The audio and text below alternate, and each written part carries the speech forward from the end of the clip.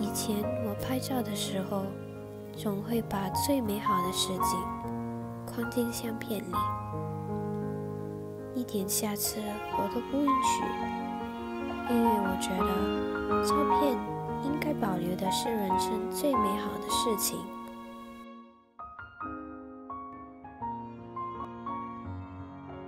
我以为它是我心目中最完美的童话故事了，给了我淬炼的感觉，我在他的身边能够很自在，我什么都给了他，为了他我还离家出走。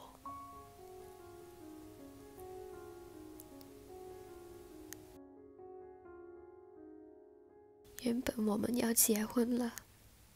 我太爱了他的孩子，他却不要，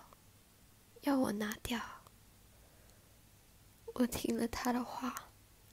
拿掉了孩子，可是他还是离开了我。